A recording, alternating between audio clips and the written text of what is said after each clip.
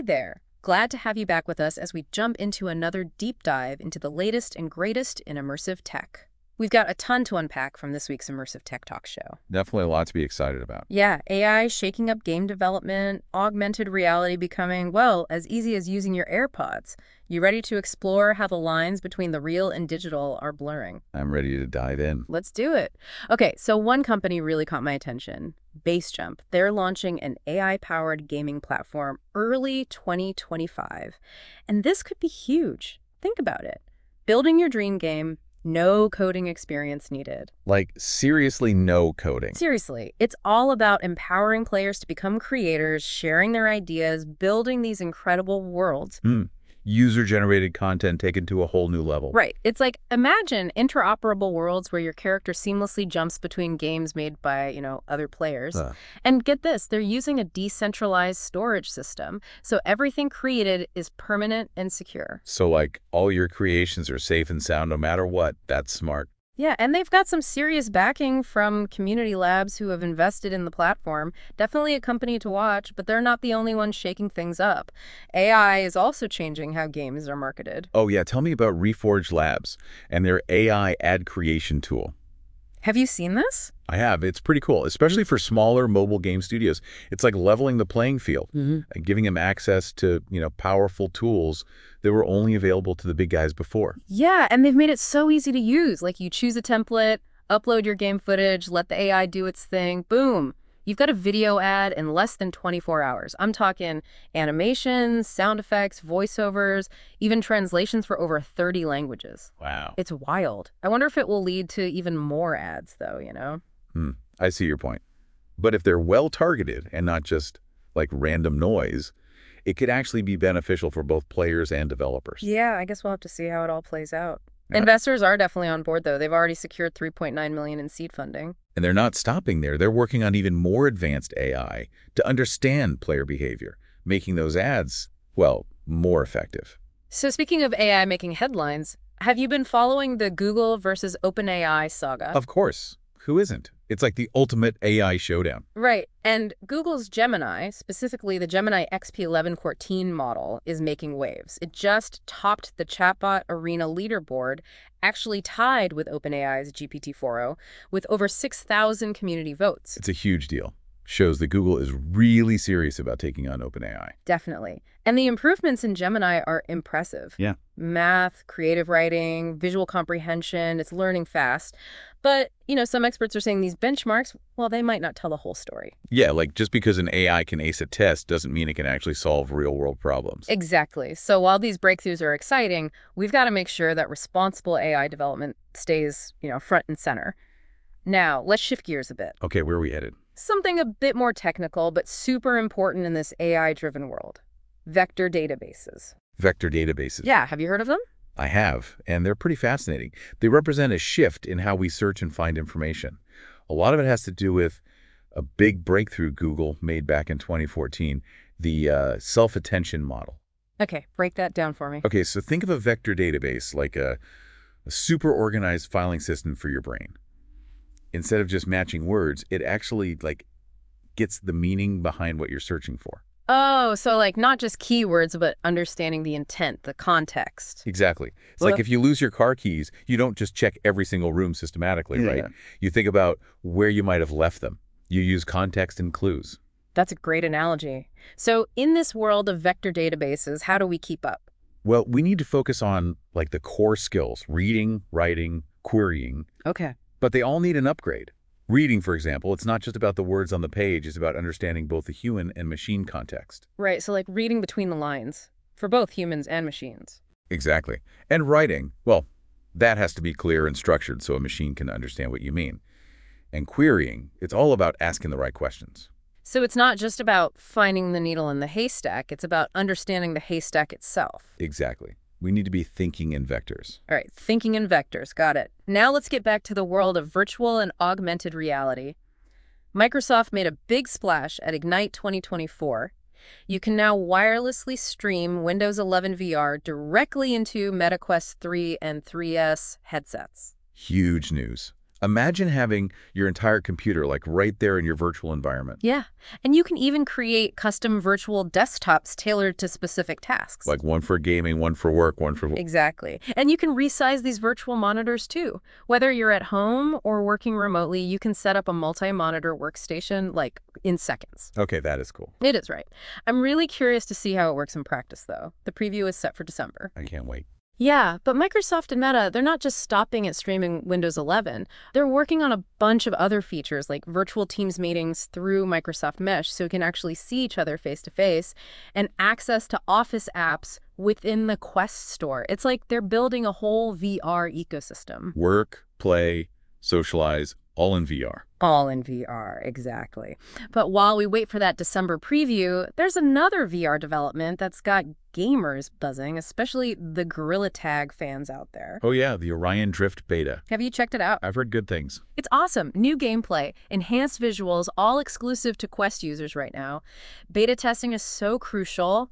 You know, get that early feedback, let players shape the game before it's officially released. Yeah. It's a smart move. Creates a sense of community, too. Yeah, like the developers really care what players think. You can join the beta right now on the Oculus store, and they're already planning updates based on, you know, what players are saying. New game modes, mechanics, even seasonal events. So the future of Gorilla Tag is really in the hands of its players. I love that. Now let's talk about augmented reality. Meta's got this new project, Orion. They're calling it the, uh, get this, AirPods of AR. Wow ambitious. They're aiming for it to be just as common as, like, you know, using your AirPods. That's a bold goal. Yeah, but remember how those little earbuds changed how we listen to music? Meta's hoping to do the same for augmented reality. So less techy, more everyday accessory. Exactly. And they've really packed the tech in. Imagine this.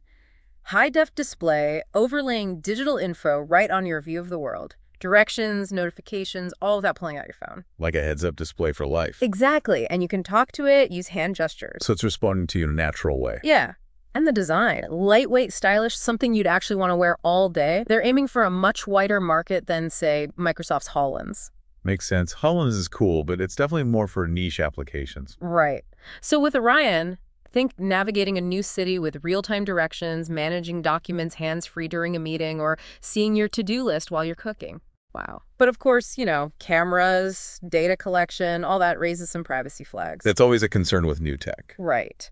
But Meta's been pretty upfront about their commitment to security and privacy, so hopefully they can walk the walk, you know? Hopefully. Yeah, but early user feedback's been really positive. People are loving the hands-free functionality and seamlessness. It seems like Meta might actually be onto something. I'm definitely intrigued. Me too. They're working with developers to build a whole ecosystem around Orion. It's like adding a whole new digital layer to reality. It's amazing to think about how these technologies are evolving. It really is. Okay, we've covered AI gaming, the world of vector databases, and the latest in VR and AR.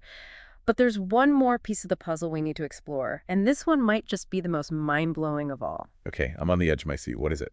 Brain-computer interfaces. BCIs. Whoa, that's where things get really interesting.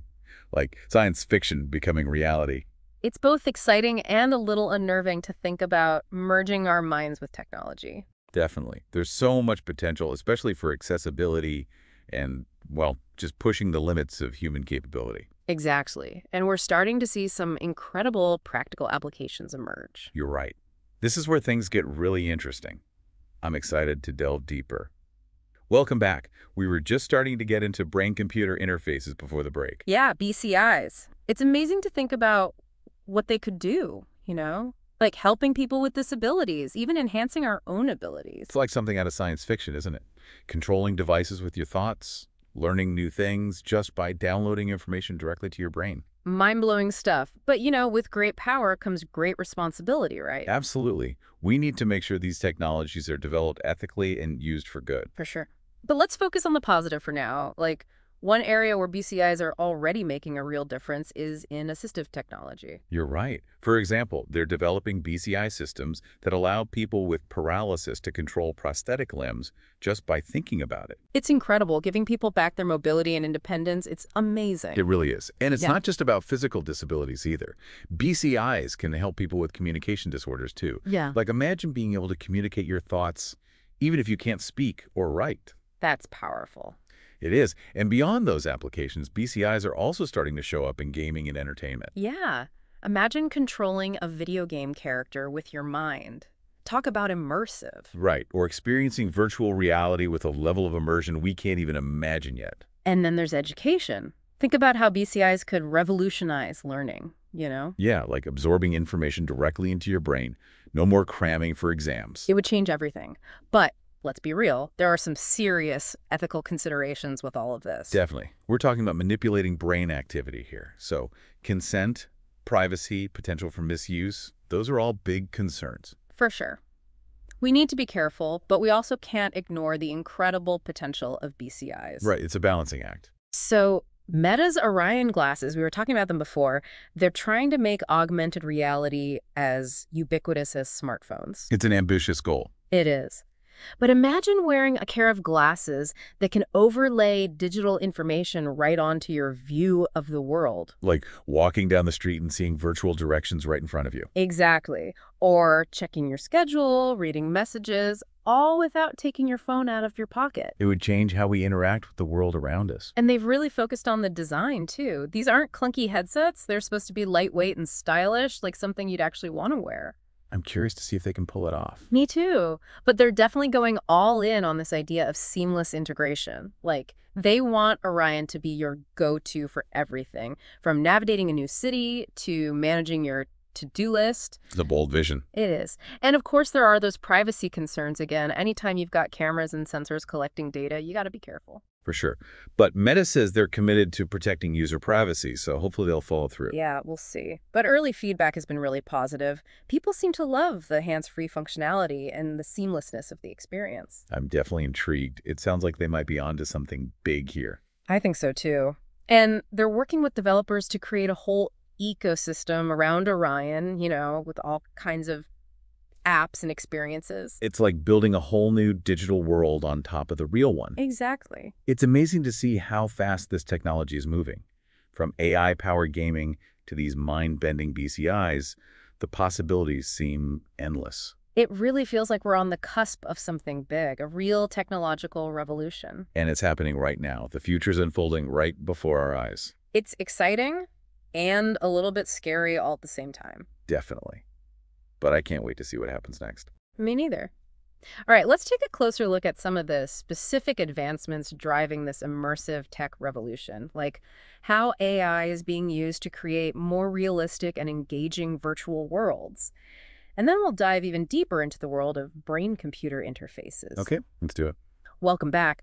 We left off talking about the incredible potential of brain-computer interfaces. Yeah, BCI is definitely one of the most mind-boggling areas of immersive tech. Right. Imagine controlling devices with your thoughts, learning new things just by like downloading info directly into your brain. It's wild.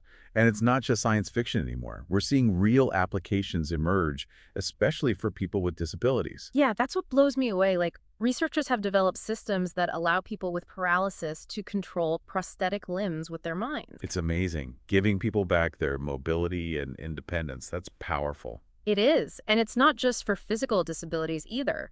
BCIs can help people with communication disorders too. Imagine being able to share your thoughts even if you can't speak or write. It's life-changing technology, really. Absolutely. And beyond those applications, BCIs are starting to pop up in gaming and entertainment. Oh yeah, like controlling a video game character with your mind. Talk about immersive. Right. Or experiencing virtual reality with a level of immersion we can only dream of right now. And think about education.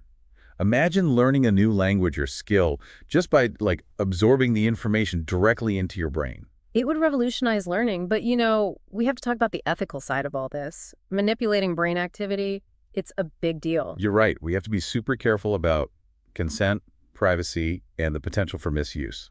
It's a powerful technology, and we need to make sure it's used responsibly. No doubt. But the potential benefits are huge. We can't just ignore that. Definitely not. So one of the biggest challenges right now is, well, the human brain itself is incredibly complex. We're only just starting to understand how it works. Like the final frontier, right? Exactly. So reading and interpreting brain activity, it's not as easy as just like plugging in a cable and downloading information. Not quite. We're not in the matrix just yet. Current BCI systems are still limited, you know, in terms of how much information they can actually extract from the brain. And they often require invasive procedures, implanting electrodes and such. So we're not quite at the point of having BCIs that are as seamless and non-invasive as, say, our AirPods. Not yet, but researchers are working on it. There's a lot of excitement around non-invasive BCIs, using sensors to detect brain activity from outside the skull. Okay, so that would make them much safer and more accessible. That's good news. Yeah, but it also makes you think about the future, you know? What does it even mean to be human when technology can interface directly with our minds? Whoa, that's a big question. It is, but it's something we have to think about. As these technologies evolve, they're going to challenge our understanding of ourselves and our place in the world. No doubt about it. It's both exciting and a little terrifying all at the same time. I agree. Well, as we wrap up this deep dive into immersive tech, I'm just left feeling a sense of awe. From AI-powered gaming to these mind-blowing BCIs, it's clear that we're living in a time of incredible innovation. Absolutely. The lines between the real and digital worlds are blurring, and it's changing everything. It really is. Yeah. And as we move forward, I think it's important to remember that we have a role to play in shaping this future. We need to make sure these technologies are used for good, that they benefit humanity and make the world a better place. Well said. We have the power to shape the future we want to see. That's the key takeaway. And on that note, we'll leave you to ponder that. Thanks for joining us on this journey into the world of immersive tech. Until next time, keep exploring, keep questioning, and keep pushing the boundaries of what's possible.